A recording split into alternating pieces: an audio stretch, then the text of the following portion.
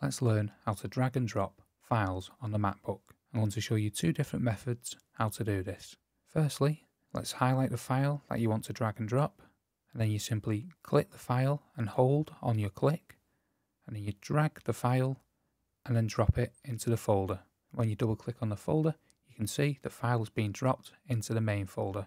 Now let's say we want to drag and drop two folders. You simply highlight both folders by clicking once on the trackpad and drag a box over the two folders. Both folders will be highlighted. You can click either box and hold down on the trackpad once. This will pick the both folders up and you drag it over to the main folder and let go and you'll have now successfully drag and dropped the both folders. And that is the more traditional way of drag and dropping folders on the Mac. Let's quickly put them folders back onto the main page and let's show you the second method how to drag and drop on the Mac, which a lot of people are preferring. First you want to head up to the top left hand corner and click the little Apple logo and come down to System Preferences and then come across to Accessibility.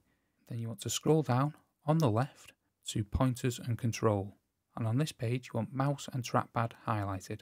Then you want to come down to Trackpad Options and click that and from the drop down the best one to choose is Three Finger Drag. This will stop accidental dragging. Then you want to click OK and then you want to X out of this window. Then we'll drag and drop using the three finger method. You simply highlight, then you put three fingers on the trackpad, and then you move your fingers across the trackpad, then you lift your fingers up, then the file will be dropped into the folder.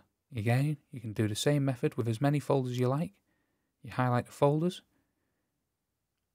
then you place three fingers on the trackpad, and you drag your fingers across the trackpad and let go, and you'll successfully drag and drop on the Mac using the three finger method.